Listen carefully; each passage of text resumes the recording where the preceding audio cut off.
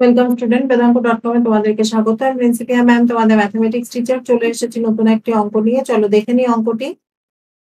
সঠিক উত্তরটি নির্বাচন করো। Sine forty five degree minus theta is equal to A one by root three sine theta minus cos theta B one by root two sine theta minus cos theta C one by root three cos theta minus sine theta D one by root two cos theta minus sine theta তো sine forty five degree minus theta এটা is equal to আমি লিখতে পারি sine forty five degree cos theta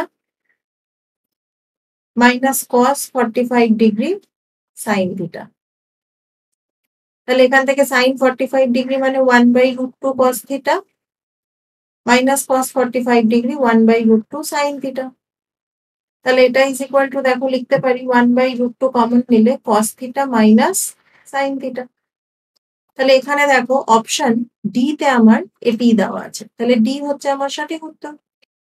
Thank you for watching Vedantu dot com আর নতুন নতুন অঙ্কের সমাধান পেতে অবশ্যই বেদাঙ্ক ডট কম ব্রাউজ করুন।